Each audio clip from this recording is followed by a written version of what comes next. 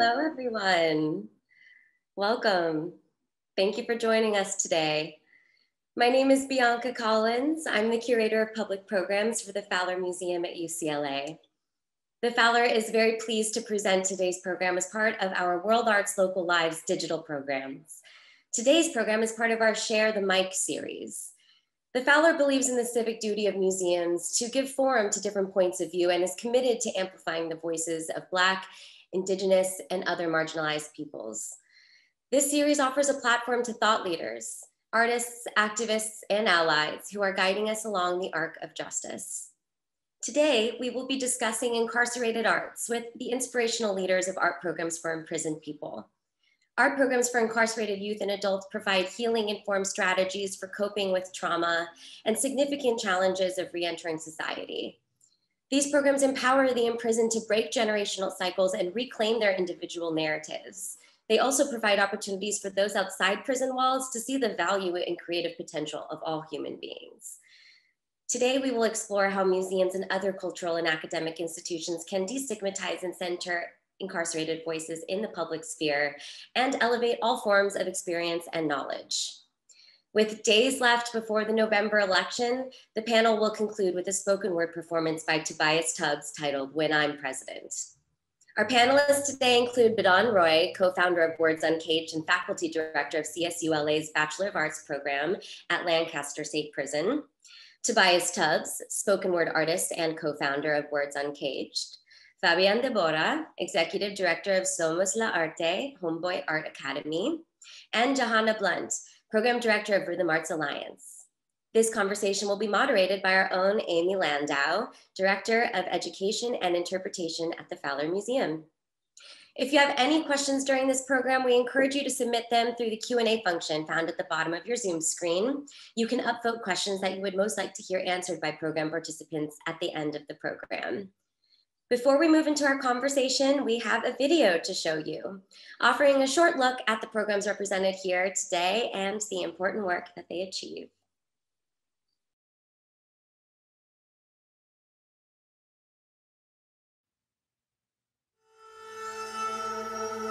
Like people look at me and they just assume like I'm a criminal, like I gang bang and stuff like that. But I mean, shit, well, it's the truth. Redemption on my way to redeem myself.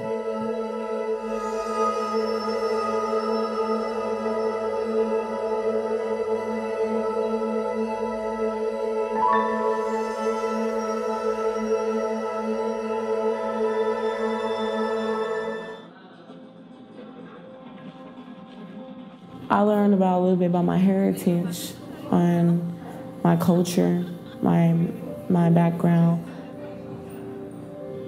I learned about where drums come from, what they're made of. When uh, you're proud of who you are, it makes you behave better. And I've always been proud of who I am because it just made me prouder.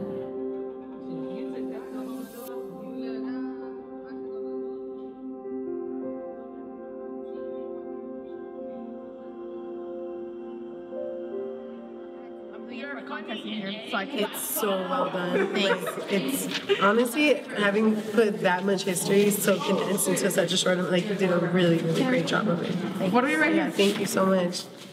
Um, that's the thread for the day, and we're gonna do our. Love. I have more to myself that I'm gonna be able to share because that everyone goes through their bumps in their roads. I wrote this on February 9, 2018, and it starts off as Dear somebody who actually cares. My name is Kalani. I'm 15 years old, and I'm currently locked up in juvenile hall. I like juvenile hall because it helps me maintain and understand myself. However, there are a lot of things I think are unfair. It confuses me really. How are we supposed to fix our lives when no one teaches us how to get our lives together? Many of us come from broken homes and don't have anyone to teach us. Then we get up, and once we are released, many of us have no, no one to really rely on and we come right back, creating endless cycle.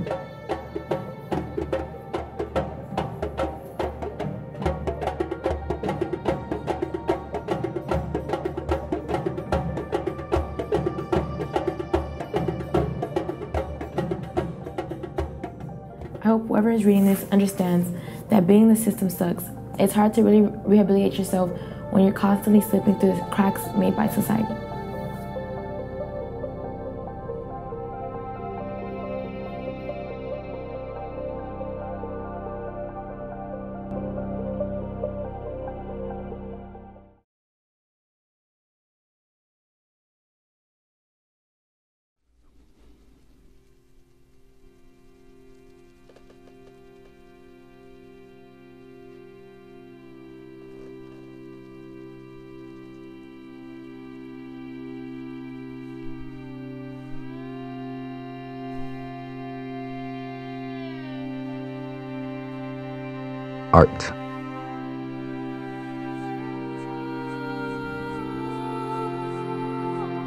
Has been the main foundation of what has kept me sane. It's the voice of my children, the voice of my loved ones, the voice of my father. For me, it's my inner voice. That's, that's how I use it as a vehicle to be able to speak for those who've been denied to be able to capture the beauty within my environment as well as the issues that take place within my community. Art saved my life.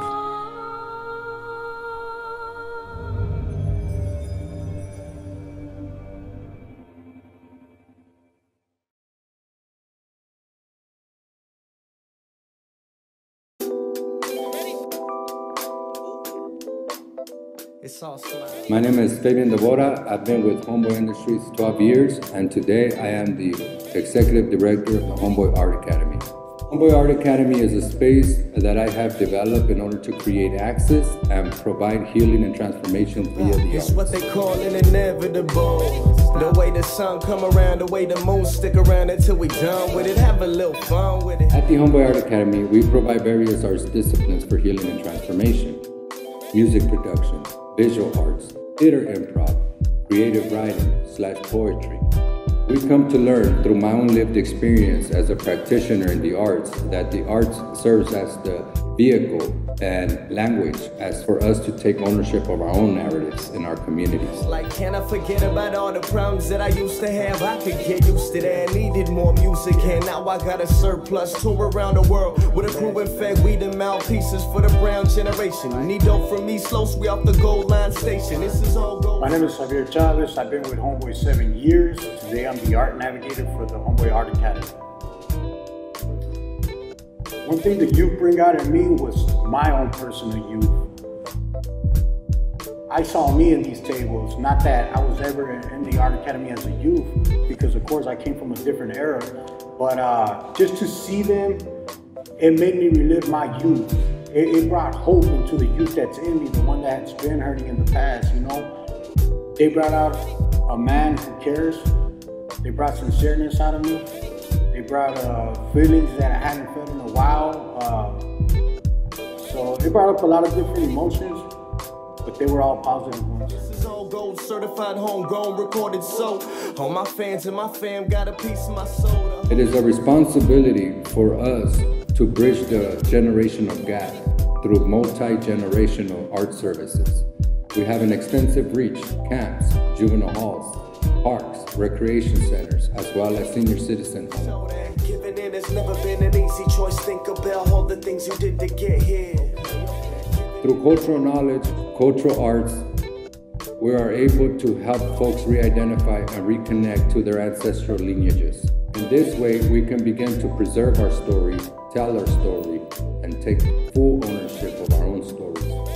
And the arts serves as the proper tool for us to accomplish that. They better know my role was to show that giving in has never been an easy choice. Think about all the things you did to get here.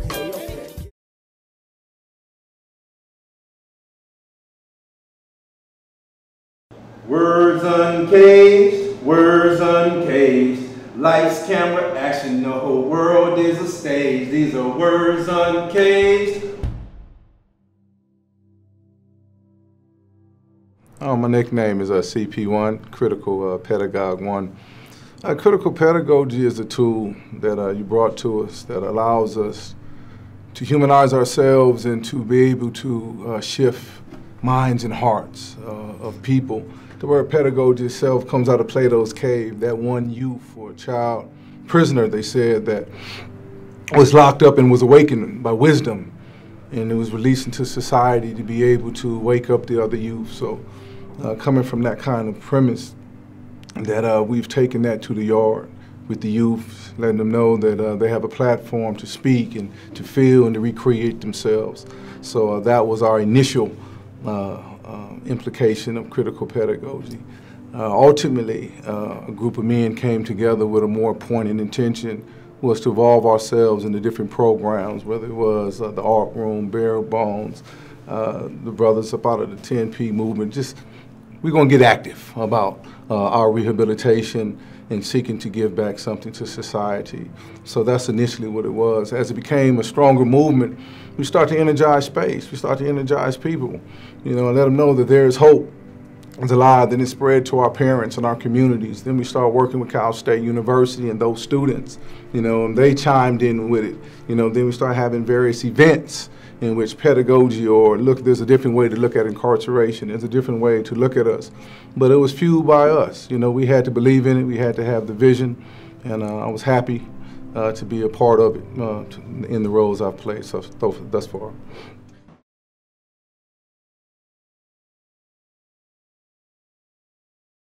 A new literature course at Cal State LA is teaming up students with rescued dogs and prison inmates. Today, the 50 students got to meet the dogs they'll be writing about on the theme of imprisonment. The students are tasked with developing journal entries kept by prison inmates into works of literature. The inmates are participating in the Paws for Life training program, where they'll work with the dogs and record their personal interactions and impressions. The students and the inmates are both going to be reading the same literature, having similar experiences with the dogs, and then um, corresponding uh, with each other about those. The dogs will live at the prison for 12 weeks. This is the first time the course is being offered. Hi, everyone. Um, we had a number of more people join us, so I want to welcome you all again to share the mic. I'm Amy Landau from the Fowler Museum. The aim of this series and today's program is, is to learn from and really enjoy different forms of knowledge, especially those that arise from lived experiences, as was referred to in the videos. We designed this series, Share the Mic, specifically for the current moment when museums are really being asked, they're being called upon to one, share authority, be truthful in, rela- in relating difficult histories and realities, and cease privileging white and Eurocentric viewpoints. The Fowler Museum has had a history of creating spaces for artists and activists and audiences to grapple with social, with key social concerns. And today's conversation is a continuation of that tradition. And it's very much in this vein that we do this work.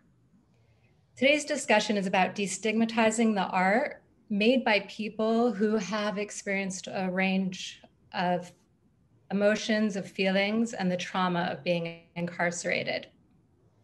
So we as museum folks, we're really at our best when we explore what does it mean to be human?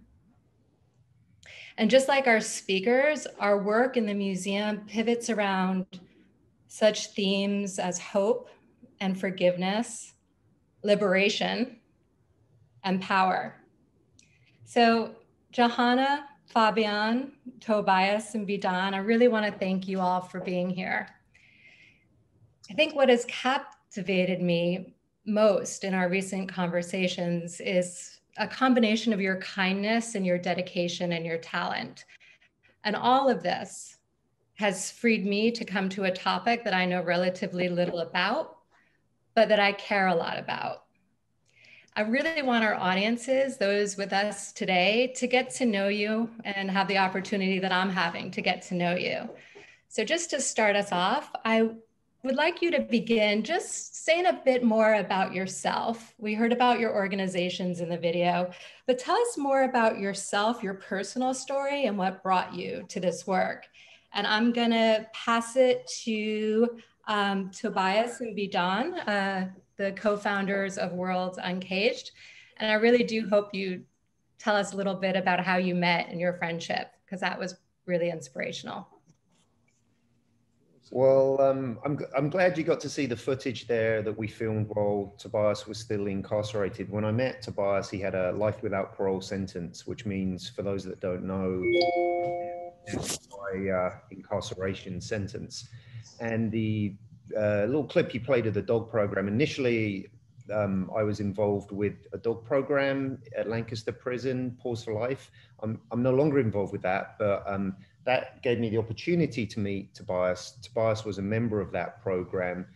And once I'd sort of started working in the prison in that program, um, I, I got sort of um, deeply connected to so many of the people in there. And I really felt for the plight of the men that were in there and particularly, you know, men like Tobias with life without parole. So it's, I'll let Tobias take it up, but it's a it's it's a real kind of special honor to have him here in, in my house with me doing this when you know we were just reflecting during that video it was just a few years ago you know that he was sentenced to die in prison so um yeah, tobias hello everyone my name is uh tobias tubbs as uh Badhan has said in 1991 still an adolescent uh without uh you know, ever shooting a gun at anyone without a fight ever in my life.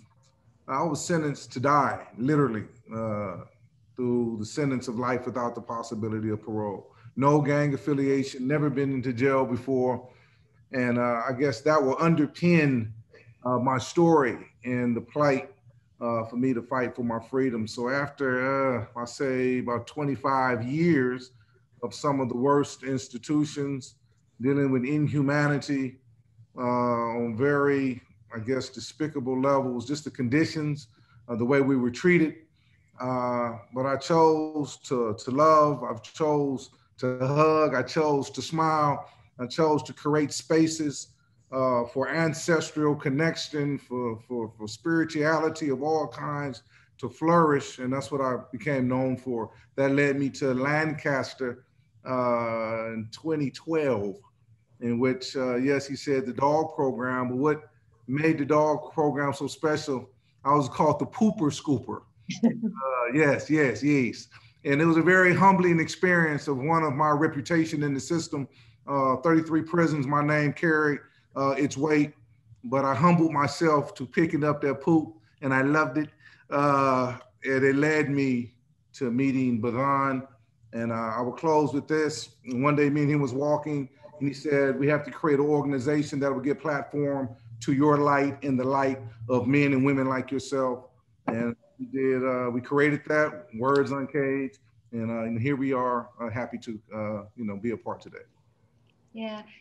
I remember you saying one thing in, in conversation that made my hair stand on end. Mm. And that was when you said that you recognize aspects of one another. So right. the professor became the prisoner. And like, Right. Being at a university museum and being as I recognize that. That spoke truth to me. And can you take us through that? Oh yes. Um, as me and Badhan started uh, speaking, it was so much that we've done. Like he's lived on the now. I've traveled the now, but through the vicissitudes of my imagination. You know, so as we was like just vibing and talking, I noticed that he felt imprisoned by a system that did not allow his wings to flourish. And then, so I'm saying there is a prison within the, or a prisoner within the professor, and there is a professor within every prisoner. And not only a professor, but a director, but a president, but a, a leader, whatever the case might be. So often we have to change those roles. Professors have to be quiet. Those with us with lived experience have to be able to get the platforms to speak. So when we say uh, the, uh, the professor and the prisoner, it's just the changing of the roles. One would think that he's freeing me, and it turned out I was freeing him. Thus, we help free each other. Mm, really beautiful. Thanks for sharing that. And Jahanna, you're a you're a Bruin. You're yes. from UCLA. Can you? I did. Yes, I went to UCLA. I was in uh, the School of Theater, Film, and Television. So I was a, a theater major, and um, I actually haven't acted since I graduated. um, but definitely have been working in the arts though. My life took a, a, a different turn um, since I graduated. But um, the way that I got involved uh, in this type of work, well, I do have family members who have been incarcerated and who are currently incarcerated. So I have had exposure to that um, just through, you know, uh, family experiences. But my life trajectory really changed the first time that I set foot into a juvenile detention center with children in it. I was fairly young. I was like, um, I, I think I was still in my early, early 20s. And so the kids that were in the facility were not far from my age. Like they could have been my siblings or, you know, um, really closely uh, related to me. And when I would uh, speak to them and hear the circumstances they were put in, it just really gave me such a different perspective on what's going on. And um, I also grew up with cultural arts very prevalent in my household. It gave me such an appreciation for my parents and what they exposed us to. But I realized that I had been um, very privileged growing up, not just because of a financial standing or a social status, but because I had art. I had uh, I had a release. I had some place to channel my energy, my anger, whatever I was feeling, my joy I had a way to to release it. And I knew when I went into a juvenile detention center that those kids, like I, I have a responsibility to share this cultural art form with my brothers and sisters who have not discovered it yet. And um, and that's pretty much where we're at today. Uh, I just really, I really think it's important that they have some kind of uh, of a channel, you know, mm-hmm. for their circumstances because a lot of them are are just in really terrible circumstances, you know, and um, they're not bad the way the society portrays them to be. And um, and I think cultural arts is definitely a way. It's not to fix any problem. It doesn't really, you know, create any solution for what's going on. That's like lawmakers and whatnot. They need to fix this mess, but it provides some coping. Uh, you know, it provides just a way to get move on to the next day, or to it, it's it's therapy. It's a way to be seen, a way to be heard. Mm. At least in the juvenile centers that I, I work in. Yeah, I know you're definitely an inspiration to a lot of students at UCLA um, mm-hmm. who, you know, showing a model of how you use your art for social justice causes. And I just want to call out Bruin Underground scholars who are in the audience with us today. And they're a group of students who support academic experiences of other students who identify as formerly incarcerated or system impacted. So a call out to them and thank you for being here. Um, Fabian, yes. so in that video, we didn't hear much about all your murals around Los Angeles. And so take us yeah. through some of that art practice. Man, I think for me, um, yeah, as, as Jahanna mentioned, you know, it's, it's more than just the arts, it's, it's become a responsibility. And I think for me, uh, in knowing that I partook in the cycle of violence uh, due to the obstacle number one that was in place at a very young age, which was immigration. Both my parents were immigrants and having to deal with the disparities, the lack of access, lack of opportunities, it somehow uh, impacted my innocence and I cannot foresee a future. So I then fell into the chains of this cycle of violence, which led me to joining gangs at a very young age, at the age of 12. Although in between all this pain and abuse and neglect and abandonment and all this trauma, I discovered one thing, and I was blessed with this thing, which was the gift of art. And this gift I was able then to embrace and, and, and make it my big brother, where I can create my own worlds to escape my reality. That was the initiation of knowing that I do have this gift. And so even though I went in and out of incarceration throughout my trajectory for 15 years of, of, of, of this lost in this revolving door, I knew I had this gift. And it just took resources and people to really acknowledge me for this talent, this gift, and see me for me without these obstacles that were in place already for my family to really think about that there may be a better way So eventually I came to Homeboy Industries in 2007 to redirect my life. And there is when I started to recognize uh, the importance of healing and transformation, not only through the uh, I call them non-traditional because uh, we always get caught up with this non-traditional art practice. But no, I'm here to say these are traditional arts practices. What's non-traditional is the mental health and the substance abuse services that they provide. If we, but that's another story. But I just want to make that clear because of the traditional arts practices that were introduced to me and my ancestral lineages. There, I was able to then feel my heartbeat, and I say, "Wow, this is what was taken from me."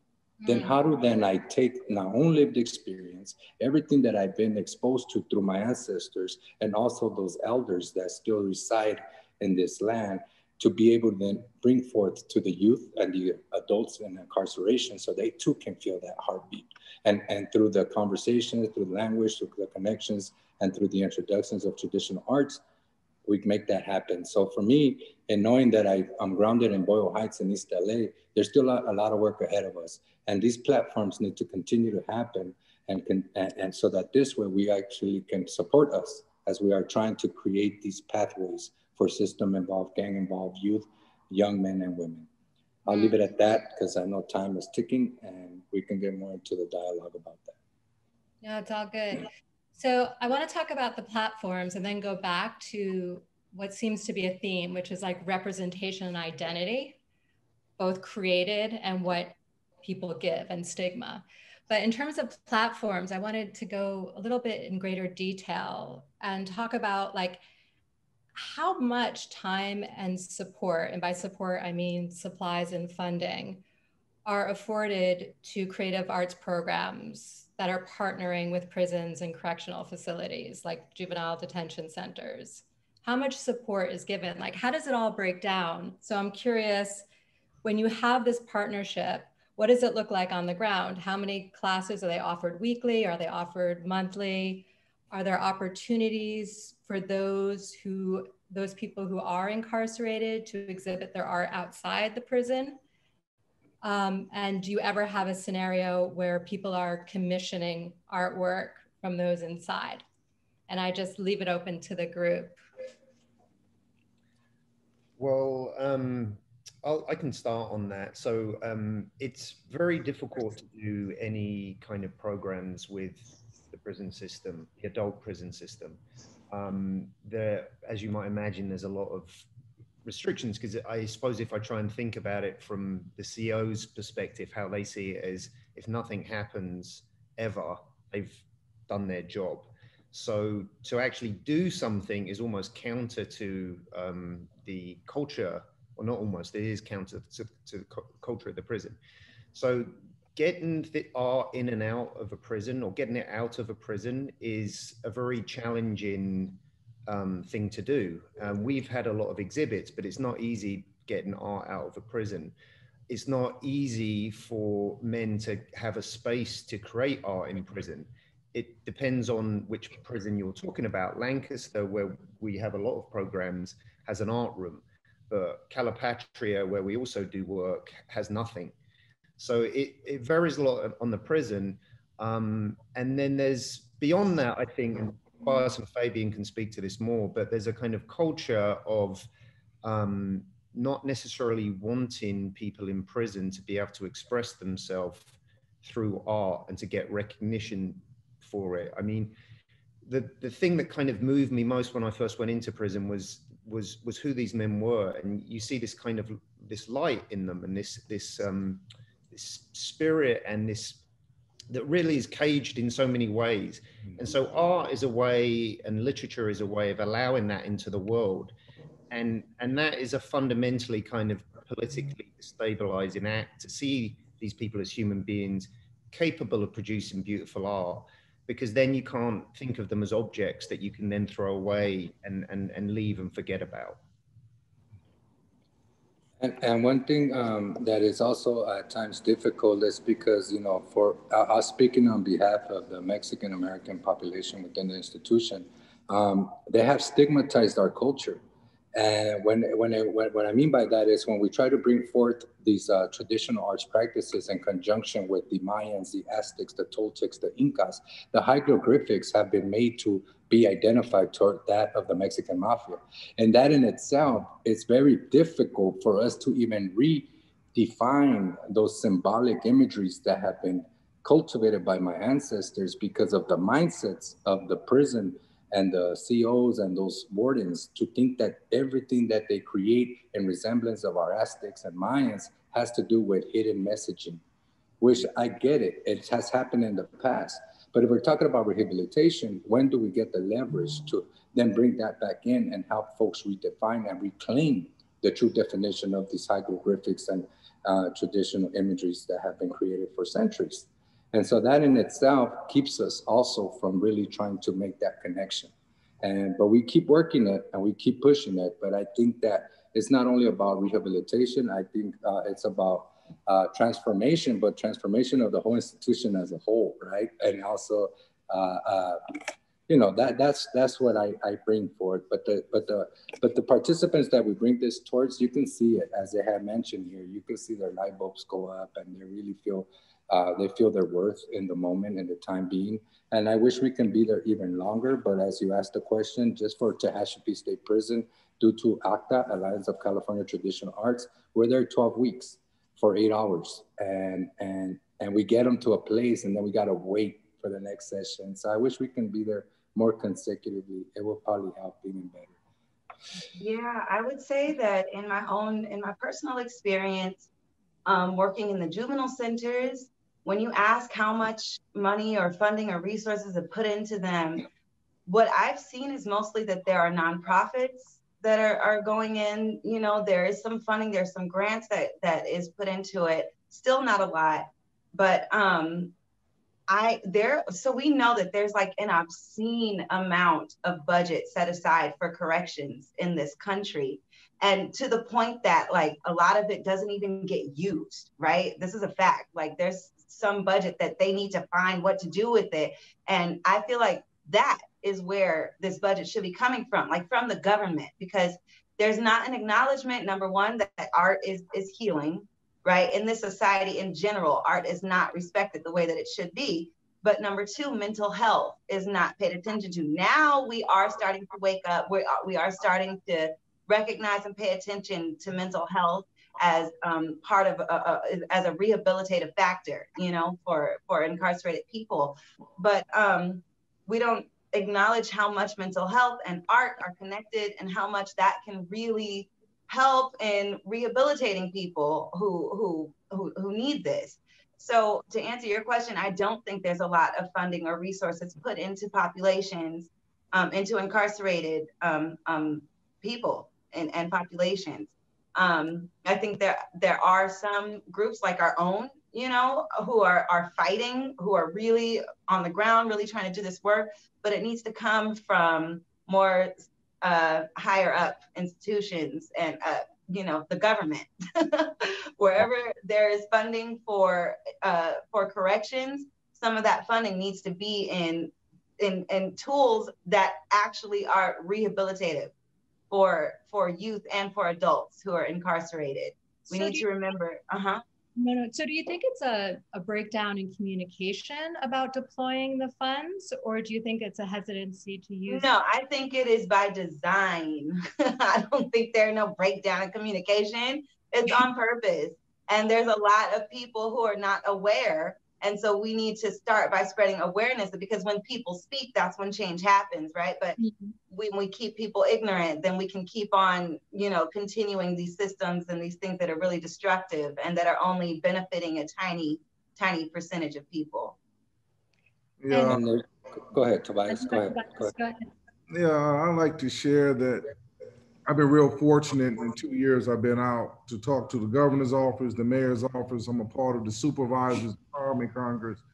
And we had to make it clear, and they have agreed, the system is not broken. It's working as planned and designed. So once we can just grasp that off the top, it's not broken. Uh, they created for a lucrative business to be on the backs of black and brown males, and now women and children. When I came into the system, you're not human, so it's nothing sacred about you. So if there's nothing sacred about you, there's nothing to be honored, there's nothing to be praised, you're here to be punished. So prisons were designed for punishment, not for art rooms, not for choir, not for singing, not for dancing, not for having a good time. It was a revolutionary notion for me to smile in prison. There's a revolutionary notion being disruptive on the yard because I was bold enough to hug in prison. So when you talk about funding, there is a narrative that is in play and still in play that funds mass incarceration, uh, uh, punitive uh, kinds of thinking, uh, us against them, fear mongering. And this is one of the main reasons why art rooms or the arts do not flourish in our schools nor inside of our prison, uh, settings. I came into the system as an adolescent. I just had my 50th birthday just a week ago. Think about that 30 years. The first 25 years, there was very little to no funding when it came to arts, anything culturally relevant, culturally sensitive, anything that identified with me as a black man with a history past slavery or having a homeland that was it was none of that. So what we did from first day 1991 until our good brother that we highlight amongst many others is an artist named Kenneth Webb. He went into the system at 16 years old through all kinds of pains and atrocities in which my brother Fabian spoke on that was in his community. Now, this young man finds his his voice, he finds his light, his redemption, his offering to humanity through his artwork. And what is so beautiful about that art room, you know, CEOs, governors, and everyone else have benefited greatly from the art of incarcerated artists.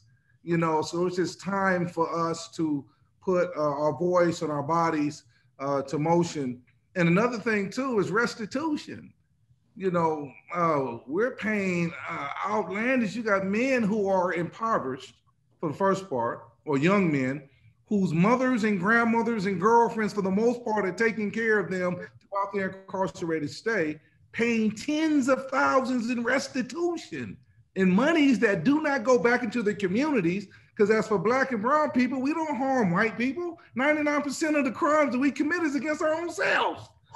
So the hundreds of millions that are taken in restitutions go back into the system, not back into our communities in which uh, the arts and spirituality and connecting with our ancestries can be. We call this a Words Uncaged, flipping the script. There was a narrative, we're going to reimagine a different narrative, and not alone, we're not going to sit around waiting and begging people to fund it. We're just going to get to it.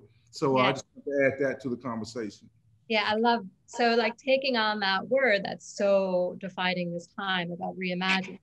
I want to flip the question from what's happening now to reimagining what could happen in the future. Like if mm. taking the arts into these incarcerated communities, what would that look like? And this is open to everyone. Like what would you want to see happen and why?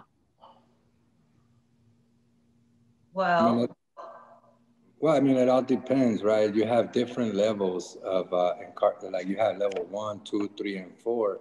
If I was speaking on behalf of my level four lifers, I mean, I would like for them to gain more leverage and more privileges and opportunities to be able to fulfill uh, the enrichment that comes from within their spirit by providing them uh, more access to even hobby cards I mean, we can't even give them um, various art supplies because immediately they're made into weapons, which is to me part of the sabotage that comes from the mindsets of the CEOs. Because believe me, when when we talk about weapons, they don't need our pencils, they don't need our rulers. they already they, they even tell me that they're like, we don't need that, man. We got bigger than that, you know. But that that mindset of sabotage and, and punishment, even when we walk through these gates, you know, knowing that I have a background I mean, I also feel like I'm walking on eggshells, being prejudged already, walking in, thinking if I may be bringing in something to the institution. I have to double check my pockets like 20 times, make sure that as paranoia, I'm, I'm traumatized, PTSD, because the last thing I want is not to get to the presence of those lifers. That's my job is to get in there. So I humble myself. I, I, I, do whatever it takes. I don't push back too much just to get to the presence of the lifers. So what I would like to see is more buying from the institutions and more leverage given and not to live in such paranoia and old mindsets that these guys are out to get somebody when they're all they're trying to do is really reconnect, re-identify and be productive members of their communities. Most importantly, be those fathers to their daughters it, as much stories that I hear about coming out of that space. How do we then create that platform for that to take place without having sabotage in the middle? I think that um, my ideal situation, well, I have to say this, um, that there's, and we're kind of starting to be on our way to this anyway, that for youth at least, there should be no detention centers, period they should not be locked up. Um, there definitely does need to be um, some some help. There need to be centers where youth can go to rehabilitate and um, work work out whatever it is that they need to work out. But I don't think that they should be incarcerated. Um, once you get to adult, that's you know that's a different situation. But the ideal, what I would like to see is methods and tactics that actually work, you know, that help to heal people, I would like to see that being implemented in these centers. And we all know, like, we have to face the uncomfortable truth that prisons are not meant to rehabilitate anyone. It's not meant to help anybody become a better person, period. They are modern day slave plantations according to our United States Constitution. That is a fact and we need to acknowledge that. And so once we acknowledge that prisons are not, had never have been meant to help anyone who is in that population, then we can start to talk about okay, what do we actually do to help someone that is on a, a dark path? What methods, what tactics, what healing factors can we implement into their lives for actual, you know, betterment of these people to contribute positive uh, impacts on society, you know, to be a positive part of society. But um, that's what I would like to see. I would like to see prisons in, in general, they don't work for whatever they're trying to tell us that they work for. They work for what they're meant for, and that's for profit, you know. But um, as far as the art that's created in prisons, we we need to um, we really need to give a platform for for that art. Like treat them as people with experiences, with emotions to be expressed, you know, on whatever medium they choose and expose it, share it, use the platform that you have. Um, we just have such a stigma about um, incarcerated people that all their rights are taken away. You know, they can't vote, they can't, they're not even, they're not seen as people and we we need to we need to recognize that they're people. And a lot of times get this a lot of times they're innocent how mm-hmm. about that you know? A lot of times they were literally in the wrong place at the wrong time or a lot of times they were born into terrible circumstances and don't have many choices. And so we need to recognize that there are people who have been wronged and we need to listen to their voices. That's mm-hmm. what i would like to see yeah, and on the flip side of that, um, you know, even out here, now that's in the institution. Now, even out here, for some odd reason, the government or the or the world still can't find it within themselves that change is possible. Even in programs out here, when it comes to who the, what is the target population, gang involved, you know, formerly incarcerated men and women, it's minimal funding that you get. They just still can't see that these people can literally change their lives. And so even as program uh, coordinators out here, like the Homeboy Art Academy, when it comes to gang, gang involvement populations, we're seeing minimal support from even the county or even you know the city as a, as large. Now they're trying to turn the dial, but I mean the dial's been turning for many for decades and we're still not there yet. So I just wanted to paint that picture too, because not only are they being punished within the institution, but it just seems like the punishment continues even out here. And, and it has been even for myself i've been finding i find myself in dead ends as if i'm not capable or because of classism and all these other criterias it excludes me continuously. So I have to keep pushing. And that's just the, that's just what happens, you know, and I think that's what we're working towards as well, not only inside, but bettering the outside as well, or else we're just setting them up to return back to the institutions if we mm. have nothing for them. Mm. You know, as we speak about uh, whether it's reentry, and then we put the re, the rehabilitation. So I asked somebody, when was I rehabilitated, and what that looked like? At what time in my life, if I'm gonna be rehabilitated or given ability, hobble means to give ability. So when was I made able? At what point in my social experience, especially here in America, you know, when was that time? So uh, something I like to say, what we don't recognize is that law enforcement runs reentry. Not only does law enforcement runs almost 99 point, I'm talking about religion, uh, whatever's going on in a prison, because safety and security is the guise which controls everything when you come into reentry, and I was fortunate to work with the mayor's office with the director of reentry, and they said, "Well, Tobias, we really don't run reentry. Law enforcement runs reentry." So uh, once you understand that the funding is being ran by or controlled by law enforcement agencies, why would they put themselves out of business? You know, no, people been living good off of me being in prison to the point that it's been a sore eye upon uh, California. Uh, now we are now changing that no juvenile, but now where are these juveniles going? You know, uh, we talked about trauma. We didn't talk about. We spoke on trauma. Trauma just doesn't leave. It doesn't doesn't dissipate. You know, you have to bring about positive experiences on deep and emotional and social and spiritual and psychological and ancestral levels to deal with some of the basic traumatic experiences that young people have gone through, going through that rite of passage in prison. You talking about we have been done wrong by law enforcement, we have done wrong by attorneys, we've been wrong by DAs, judges, a correctional staff. Then we have a very difficult time while we're in there. I'm talking about me myself. Come on, I graduated from high school. I was sheltered all times of my life, and I know I left out traumatized. So not alone young men and women who have no parents. I would say this, 90% of the men uh, that I've dealt with, young men and older men, was never hugged and said I was loved by their fathers. I was the first one to hug them, the first one to love. This was in the 90s. It was such a, a poignant fact that the governor himself, Governor Brown, when he wrote my commutation, he put it in my commutation papers, 4,000 men. So think about 4,000 men or young people who's incarcerated that had an alienated relationship with their father or no father at all, has never been hugged and said that I love you. These are the kind of real realities that we're dealing with.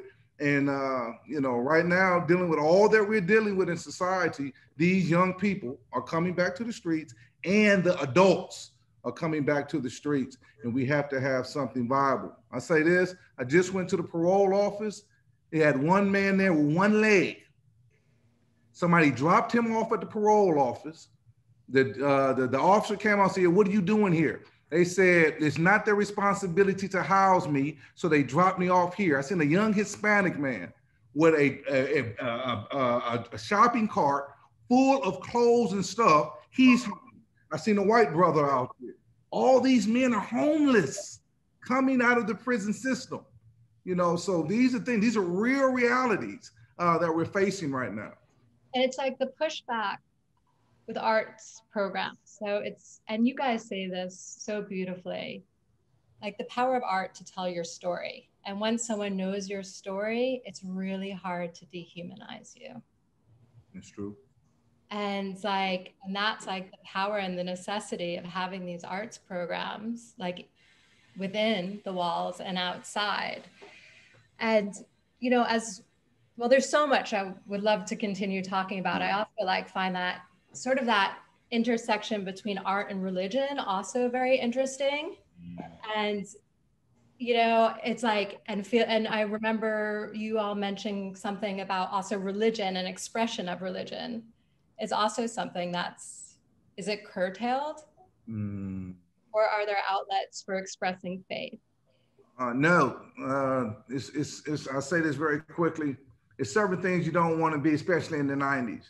Uh, you didn't want to be black. You didn't want to be Muslim. You didn't want to be young. You didn't want to be a leader. Those are four things that I was in prison when I went in. I was a young black male who was called a super predator.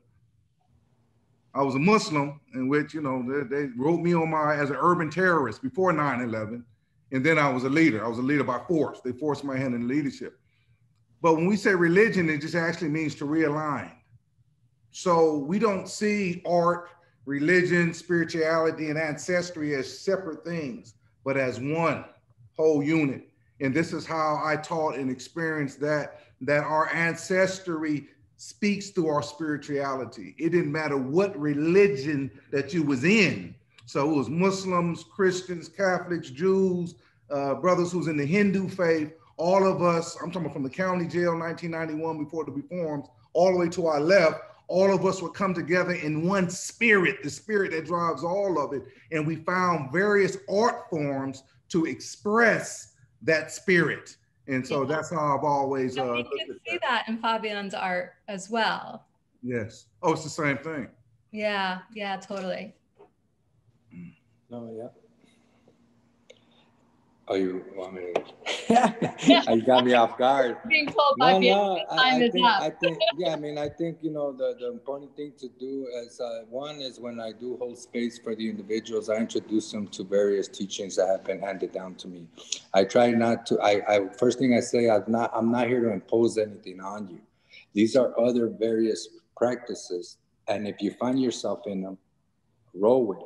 It's not to take you away from Catholicism or any other type of religion. But the goal here is just to create such space where their voices can be heard. And if it is through the uh, indigenous Native American drum, then so be it. If it's through the African drum, then so be it. And if it's about weaving such thing as sweetgrass in prayer, then so be it. You know, and and, and then, but it's intentional, and that's where the ticket's at. Being intentional about how we deliver and bring forth these practices, and then they themselves will identify and reconnect in their own spiritual way, which then builds upon their resiliency. Because we can't forget, we, be, we are resilient people right. from day one. And how do we bring in and antidotes or any practices that's only going to help to, to to nurture and build on that resiliency, right? And that's that's the idea. And through these various traditional arts practices, there their voices will be heard, and then they will be there. They will feel their worth and that's the intentionality. It's something I wanted to share that came from Bidhan and my relationship that I had access to Cal State University, my immediate release. And so uh, there was a program designed for us to correspond with the students. And so to bring a real live body out of incarcerated space inside of school space, thus the prisoner becomes a professor because he turns over the class to me. So, how do you think that made me feel as an individual who never felt accepted in school to get out of prison after 30 years and to be teaching on a college level, holding seminars with his colleagues? Their minds were blown. The next thing that came into play, the students wanted to be more active in connecting with the incarcerated artists, with the incarcerated student. So everywhere that I go, I've spoken at USC, I've spoken at UCLA, the Court Cal State University. We have found students right now. My little sister Kat, she's here right now from USC, uh, supporting uh, uh, Webb and being an activist and giving the weight of her being a student in some of the most prestigious universities and saying that we're going to do a better job and we're going to leverage our status and privilege to help men and women who find themselves incarcerated. And we're going to use education, literature, and arts to do so. I believe that is very powerful, and that is a simple way that we can put pressure on uh, those that do control the levers of change and power. And that uh, these students ain't gonna go for it, even if you don't want to listen to Tobias Fabian. and great, great model for like universities. Absolutely. Thank you. That's so much already has been offered for food for thought, and there's clearly so much room to grow. Um, if if people haven't yet submitted Q and A's, um, I would encourage you guys to do so. But we're not getting to Q and A quite yet. Um, first, I would like to invite Tobias to set up his uh, little stage And um, I'm very, very proud to present a spoken word performance by Tobias entitled When I'm President.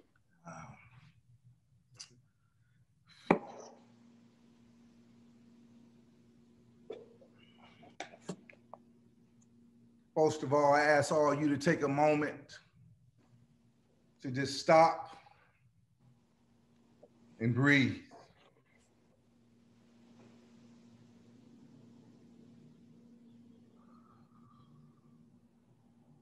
The reason why I said that is because it's been a common notion I've heard I can't breathe.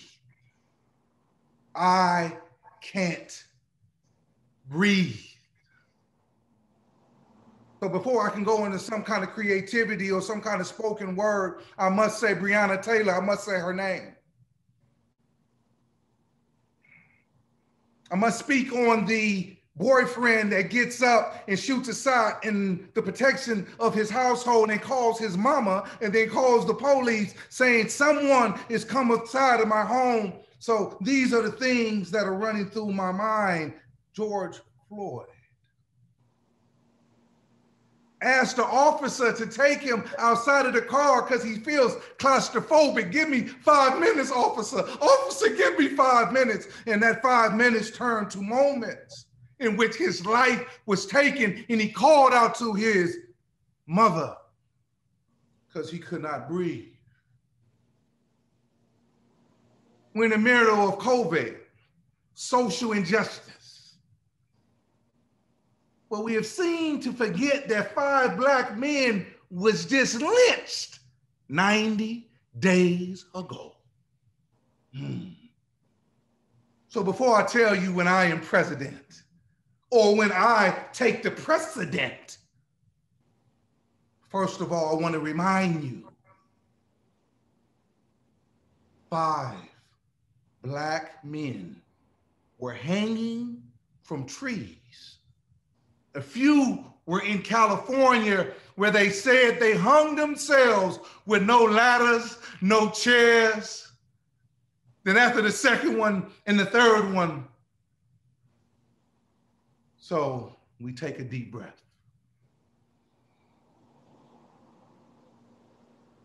We breathe. Many of you know my story. So when I'm president or when I take the precedent, we're going to honor all life. All life must be honored. This is very simple approach. Very simple approach. We all come from a seed. And within that seed, when it was broken up, there is life, and there's a tree that has more what fruit and more juice and more seeds. We all come from seeds.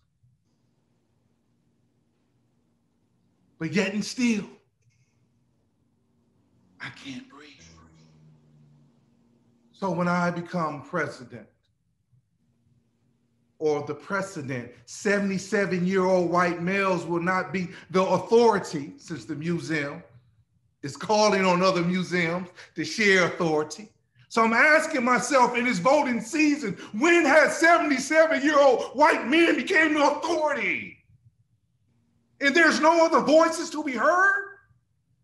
When Mr. Trump proudly said, I've spent one billion on the presidency, but yet and still, meager funds are being given to the arts, meager funds are being given for housing, meager funds have been given to the, the least of us. But yet and still, billions are being spent for either two. And at the end of the day, I can't breathe. So when I become president or when I become the precedent, and I think that's what we need to think about here. What is the precedent? And what is this president is going to bring any different than the 44 or some presidents that came before? So maybe we need to question the system itself. Has it ever worked for indigenous people. Ask the Mexicans or Hispanic brothers and sisters who own California. Ask them. Ask our Chinese brothers who they tried to work. Ask our European brothers who was getting eaten by mosquitoes and died of malaria because they couldn't meet them South Carolina uh, fields. Ask the hundreds of thousands of millions of Africans that were brought here against their will by an ordinance of the church.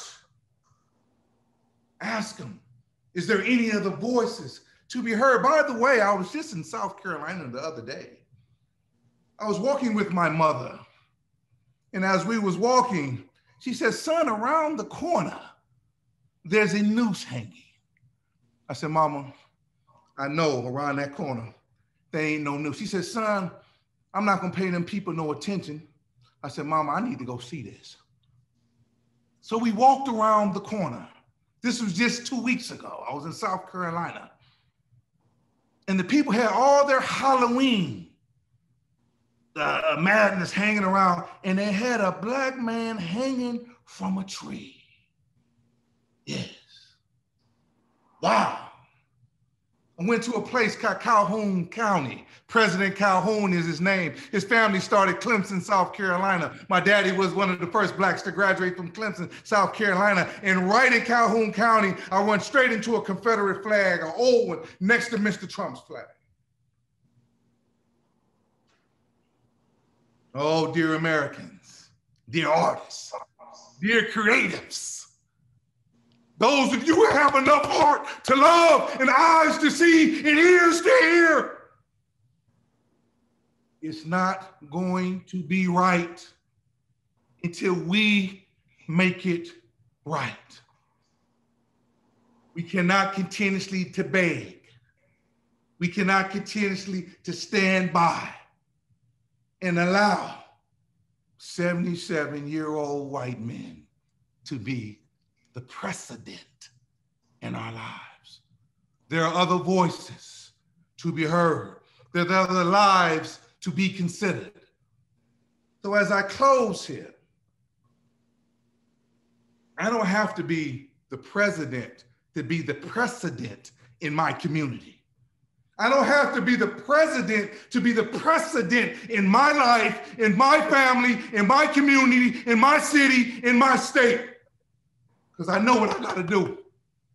It's a shame that a ex-criminal, a parolee, is challenging you to love challenging you to hug, challenging you to smile, challenge you to eat correctly, challenge you to engage the arts, challenging you to love on the students that are in your community, challenging you to do something for the poor, the sick, and the needy.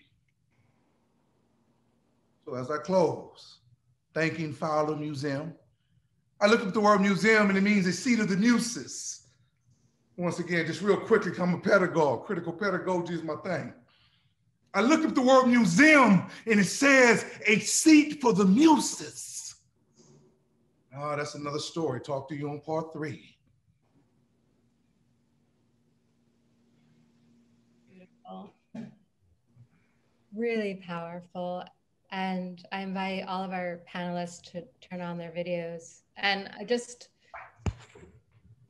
your words are so powerful, so true. And if we're not summoning that level of passion and truth in our classrooms and our galleries and our museums, then we're failing. Mm-hmm. So we have quite a number of so many questions.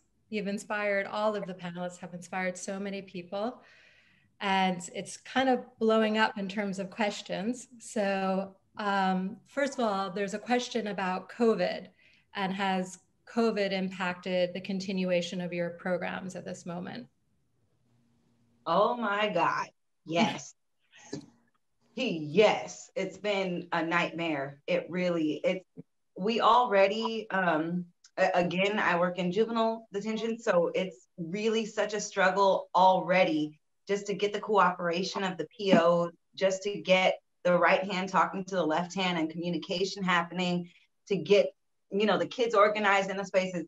Once COVID hit, I mean, and, and bringing materials into the facility is also a problem, as um, Fabian was talking about, like pencils, pens, paints, anything could be used as a weapon, anything could represent a gang. When COVID hit, we couldn't get into the facilities. They don't have Wi Fi, like everyone else went virtual. I, I work for other organizations, you know, I teach in schools, community centers, like they have the ability to go virtual. These kids, those kids have um, cell phones, they have Instagram accounts, they have Zoom, and I can connect with them. Those that are incarcerated, they don't have any access to the outside world already as it is. But during COVID, it, it was it, it's been almost impossible. It's been very difficult. We've had to have sessions over the phone. What? It's 2020 We've had to have sessions. How am I supposed to teach music and dance over the phone? You know, it just doesn't make sense to me that there can't be Wi-Fi. We, we can't put a router on, on those grounds. You guys have all this money, all these resources. Um, it's been a very big struggle to continue accessing people behind bars during the age of COVID. You know, we can't have any contact. The rooms, the spaces that they have are so small as it is. So staying six feet apart, that's not an option. Um, it's difficult to get them outdoors because they're always trying to keep them contained, trying to be able to keep a close watch on them. So sometimes people are not trusted to be outdoors. It has been a, an enormous struggle. Mm-hmm. Yes, to answer your question, COVID, the pandemic has put a, an enormous strain on our connection to incarcerated populations. Mm. And going back to that seat of muses and lining up part three, we have a lot of questions about museums. For example, one individual asks, how can museums and universities be good or better partners to support the good work that you do? Or there's also the question, are they not good partners in the first place? And who would be better partners? and that opens up a big conversation. Um, I think um, I, I, think for me personally, to be honest with you, and, and let's be honestly, um, I don't think that the museums are no longer the driver for us to even to like to foresee something in that, right? And I think the new generations of today, I haven't been able to utilize any like like like any museum as a driver. This is where you can go if you put your practice, it doesn't really, it's not part of the landscape due to so much disillusion, due to so much discouragement and the lack of inclusivity. And so why would I sell to my participating youth and formerly incarcerated something that might not really exist and be there for us? So i'd rather just build on the access that we do have because we do have access now to digital platforms, cameras, and everything that is more tangible now as it, as it wasn't then. And so maybe we can get to a place now where the museums can actually uh, take a risk and loosen up the grips on the criterias and, and the labeling that comes from museums of what is art and what isn't art. Once we begin to take that risk, then maybe the interest of us creating that pathway into a museum can rekindle itself. But for now, I've been comfortable enough not to uh, sell something that might not be of existence. And so that's my take on that. And I, I believe Tobias wanted to chip. Yeah, I'm gonna say this before maybe Roy speaks on on a more professional uh, level. Uh, this is something that me and Fabian's gonna work on. Uh, there's no disrespect to all the beautiful museums out there, but um, you know we're gonna create our own museums. Now, if any of y'all want to get in and help participate, support, uh, fund uh, museums in our own community that we totally uh, uh, control and dictate uh, what happens inside of that space, then that's more what I'm with and what me and Fabian we call the uh, the right left hand punch uh, is right. going to start working towards. Uh, we're going to put it in our communities, and if you want to see us, we need you to come in our communities. We uh, not going to yours, but I think uh, Bidhan should say something concerning the connection between universities and uh, and our programs and institutions. Well, um, certainly as far as universities, the the on on a kind of low level as a faculty member as Tobias has indicated, getting students involved through, um, even though I don't like the term very much, community engagement projects where you have academic learning that takes place through dialogue where you recognize um, incarcerated artists and writers as as people with knowledge that can share that knowledge with your students. That that can be one way. But I think like beyond that, there's a bigger question that universities and and um, museums need to ask themselves. I mean, if you look at the history of a lot of museums, um, for example, I went to did my PhD at the University of London and the British Museum, very famous museum, but everything in there came from colonialism and looting the rest of the world. Mm. And it's controlled by a certain class of people. Um, and there needs to be a lot more reflection upon what those institutions do and not a kind of tokenism of just allowing people to come to speak for one thing, but actually sharing power in a meaningful way. And that means also sharing resources and trusting people to, to make their own programs with those resources, not necessarily controlled by a professor like me, like real partnerships. And, and adding to what you just said, uh, uh, Bidhan, um, is that uh, it should be always a two-way street mutual relationship. So as the faculty from your museum or your school comes to engage within our communities, it should also be very flexible for us to come into that community because what happens most of the time is that they come into our communities and try to understand how Fabian redirected his life. They write an amazing thesis and Fabian takes the back seat and they go grade accredited. And then Fabian is not accredited.